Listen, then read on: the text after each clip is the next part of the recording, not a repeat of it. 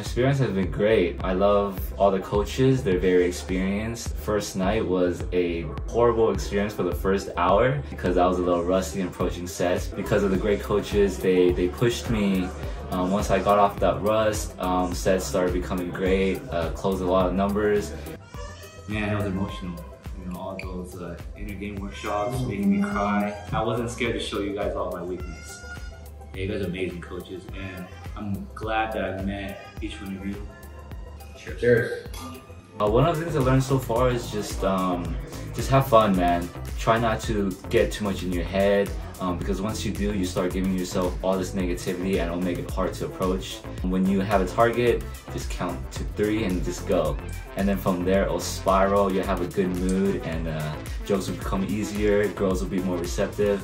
Like if you want to become a better version of yourself, if there's something about you that you're not happy with, like you're shy, or um, you think you you know you have all these self-limiting beliefs, you should definitely take this Eurotour. All my insecurities are starting to show, and the, the coaches are really helping me with it, and it's I've been better approaching, better talking to girls and guys. I'm not that shy anymore, I guess.